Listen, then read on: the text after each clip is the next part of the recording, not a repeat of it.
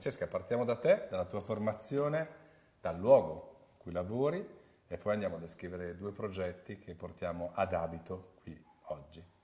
Perfetto, allora io lavoro a Recanati, che è una cittadina, una piccola cittadina marchigiana, e, padre ovviamente di Giacomo Leopardi. E Nato lo... a Porto Recanati nel 1790. Ah, ah. a Recanati. a Recanati.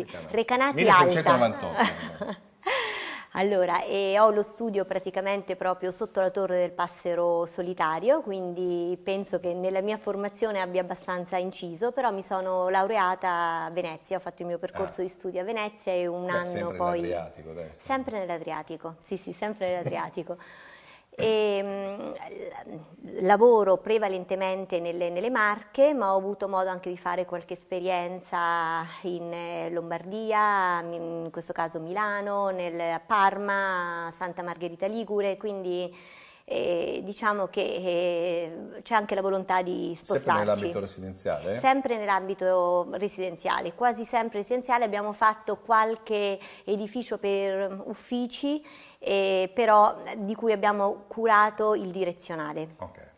Oggi di cosa parliamo? Quali progetti portiamo? Allora, oggi porto un, un progetto che in realtà è, un, è un, un, piccolo progetto, ma per noi è stata una grande esperienza perché siamo riusciti a costruirlo in maniera molto sartoriale con il committente ed arrivare quasi ad un, ad un chiave in mano, a quello che si può dire un, chiave in mano. Siamo partiti dalla ristrutturazione di questo edificio di edilizia minuta, decisamente minuta, eh, vicino al Colle dell'Infinito, di nessun pregio architettonico, eh, però abbiamo cercato di ridargli... L'Ermocolle? L'Ermocolle, esatto.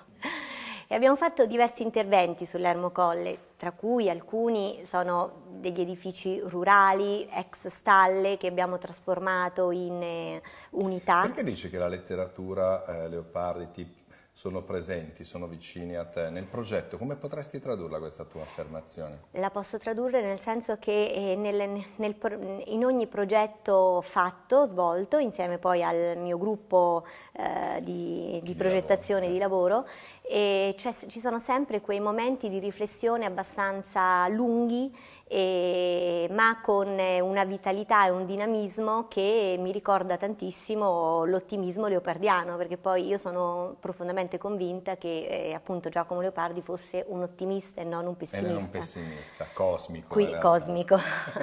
Senti, andiamo Quindi, a raccontare molto, insomma, eh, sono momenti molto riflessivi quando poi arriviamo alla sintesi da presentare al committente. Anche mi, mi è piaciuta molto la locuzione intervento minuto, significa che hai una piccola superficie e curi ogni dettaglio? O... Sì, in questo caso esattamente sono circa eh, una sessantina di metri quadri a, a piano, mhm. quindi mm-hmm. è una, un'abitazione stretta che si ehm, incastrata tra altre due piccole, eh, piccoli manufatti eh, che praticamente sale in verticale e eh, abbiamo cercato eh, di unire questi ambienti che prima altrimenti erano delle piccole stanze eh, tramite questo, questo, alleggerimento della scala che dal piano terra arriva poi fino alla, alla mansarda ehm, con, alleggerendosi. Sono praticamente tre livelli.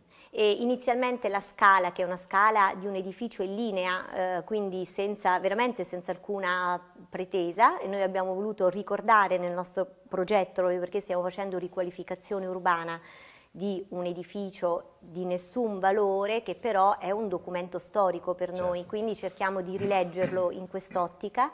E quindi abbiamo, partiamo dalla base che è una scala in pietra che poi si alleggerisce trasformandosi in una scala sempre rettilinea in, eh, pie, in ferro e mh, mm, legno, per poi invece diventare eh, leggermente più mossa questa scala e, e in ferro e vetro. E poi c'è dall'alto questa pioggia di, di, luce che viene dalla copertura che ci arriva praticamente fino luce al, esatto, luce zeditale che ci arriva fino al piano, al piano terra.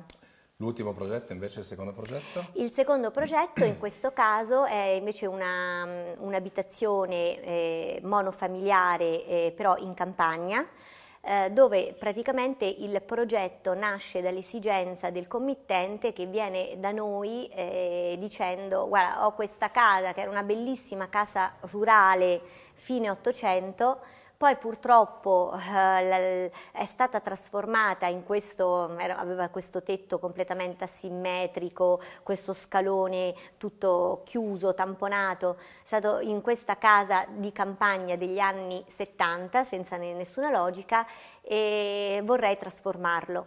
Nella trasformazione noi abbiamo voluto comunque ripercorrere un poco quello che era stata le, le, varie le stratificazioni, le stratificazioni no? e cambiamento del, dell'abitazione. Quindi non abbiamo fatto il classico casolare di campagna, ma eh, abbiamo cercato di ripercorrere quello che era il nucleo centrale dell'abitazione evidenziandolo e poi anche facendo vedere le, le stratificazioni.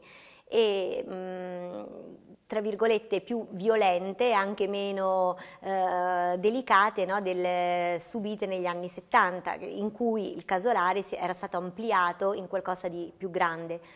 E gli abbiamo lasciato questo aspetto un po' più industriale, infatti all'interno c'è questa scala in, in cemento bianco praticamente che sale fino al piano primo. E poi anche qui, eh, proprio eh, questo è un po' il, il nostro lavoro, cercare no, di ricavare da ogni sottotetto uh, un'altra abitazione, un altro piano, abbiamo ricavato praticamente il, il, il sottotetto che è lo studio eh, di mm, stampa delle, delle, foto che è il, secondo, che è il lobby, lobby del, diciamo, esatto, del, del, del proprietario.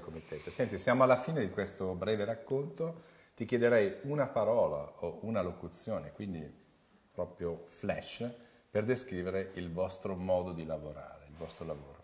Riflessione, e tante ore in cantiere, attenzione per il dettaglio e le finiture. Grazie.